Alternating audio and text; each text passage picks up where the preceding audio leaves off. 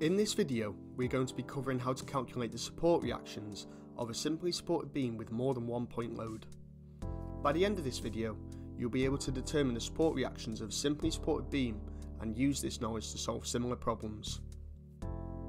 If we look at the beam, we can see that it is 4 metres in length and has supports at either end labelled RA and RB.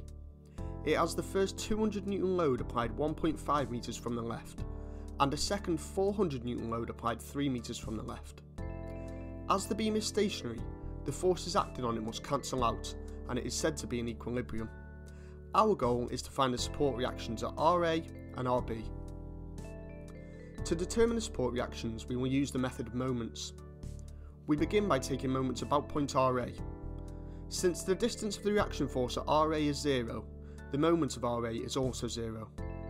Next, we'll calculate the clockwise and anti-clockwise moments. For the clockwise moments, we have a 200 Newton load at a distance of 1.5 metres and a 400 Newton load at a distance of 3 metres. So, total clockwise moments equal 200 times 1.5 plus 400 times 3, which equals 1500 Newton meters. The only anti-clockwise moment we have is the support reaction RB at a distance of 4 meters. Since the beam is in equilibrium, the clockwise moments must be equal to the anti-clockwise moments. Therefore, we can transpose this to find RB by dividing 1500 by 4, which gives us 375 newtons. We must then repeat this process by taking moments about point RB. As before, the distance of RB is 0, so the moment of RB must also be 0. Next, we'll find the clockwise and anti-clockwise moments again. Starting with the anti-clockwise moments this time, we have a 400 Newton load at a distance of 1 metre and a 200 Newton load at a distance of 2.5 metres. So, the total anti-clockwise moments equal 400 times 1 plus 200 times 2.5, which equals 900 Newton meters. In the clockwise direction, the only moment we have is the support reaction RA at a distance of 4 meters.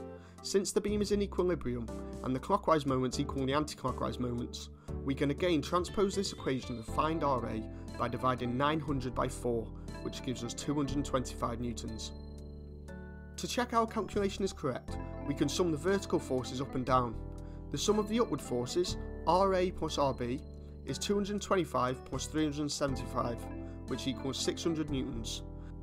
The sum of the forces applied in the downwards direction is 200 plus 400, which also equals 600 newtons. Since the sum of the upwards and downward forces cancel out to zero, our calculation is correct. Hope you found this video helpful in understanding how to calculate the support reactions of a simply supported beam with more than one point load. Thank you for watching. Please check the channel for similar engineering related content.